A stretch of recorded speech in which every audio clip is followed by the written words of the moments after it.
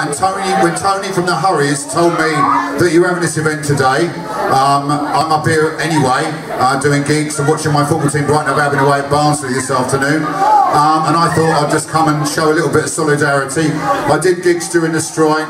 Um, we did, I did what we could and uh, you know all of us from different social backgrounds, different parts of the country. We support you to the hill. I know you know that, um, and I just wanted to come. I went, I'm going to do a couple of poems and a couple of songs, and I'm going to start off with a poem that, that I wrote for Bob Crow. Now, this poem I was asked to write by the BBC for the BBC obituary programme, sorry, Radio 4 obituary programme um, which is called The Last Word. So they asked me to write a poem for Bob Crow. I wrote the poem and they refused to put it out on air. And instead they had an interview with some Evening Standard journalist. But this is for Bob. There was a man who held his ground, fought every inch and won the day. His legacy, his members' lot, good work conditions, decent pay. By Tories and their tabloid dupes and those who seek more than their share, just like Millwall, his favourite team, he wasn't liked and didn't care. But those who worked in transport knew their leader stood right by their side. No management could lay him low. They wore their union badge with pride. He spoke for passengers as well. Safety, not profit, always first. Opposing fatal funding cuts. Paddington, Potters Bar, the worst. Bob Crow, a boxer's grandson he, led with the left and packed a punch.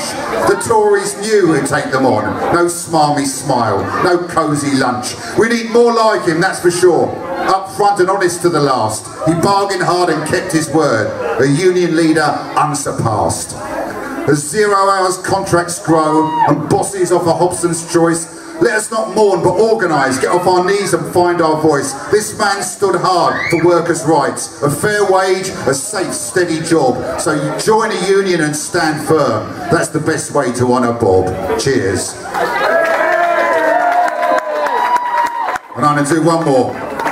On the day of Thatcher's funeral, I was performing for Durham Miners Association at, at, uh, at the Easington Colliery Club, and uh, obviously they were having a, in London they were having a funeral and we were having a party. And uh, I, wrote, I, wrote this poem especially for them and I've been doing it ever since. And it's about the epic battle between Satan and Thatcher for control of hell. And it goes like this. The furnaces were roaring with a foul and sulphurous smell. The damned were being tortured, just another day in hell. The air was thick with anguished screams and soul-destroying moans, when above the dreadful clamour rose some shrill suburban tones.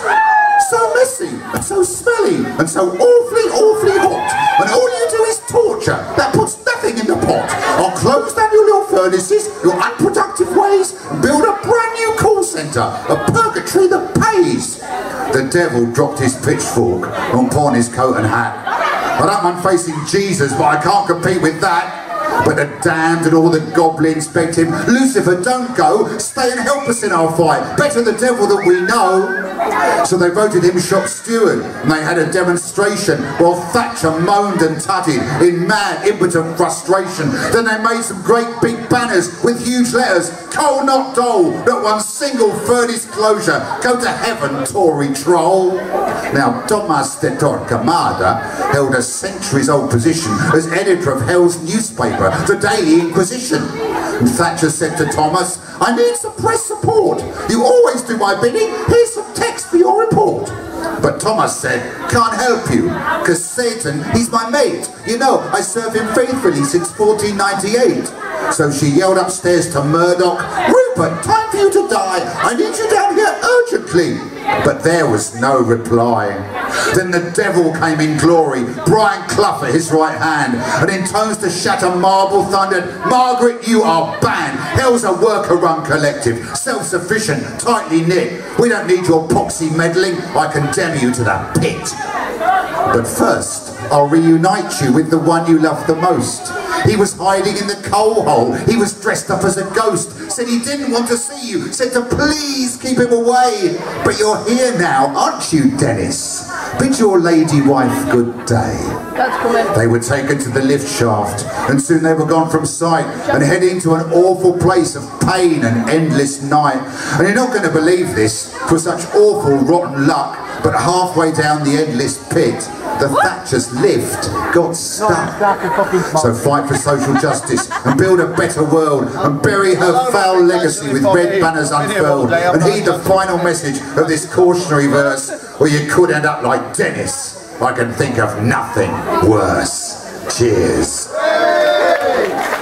Right, here's a song for